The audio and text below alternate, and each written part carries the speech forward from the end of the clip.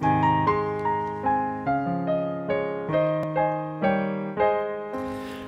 God for the harvest of orchard and field. Praise God for the people who gather their yield. The long hours of labor, the skills of a team, the patience of science, the power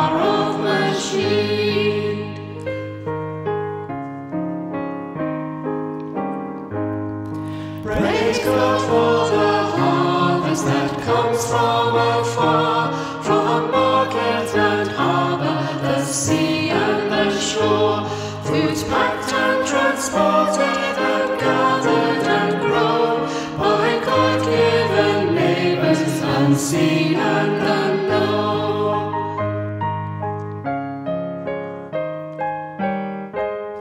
Praise God for the harvest that quarried and mined. They have sifted and smelted, or shaped and refined. For oil and for iron, for copper and coal, praise God who in love has provided them all.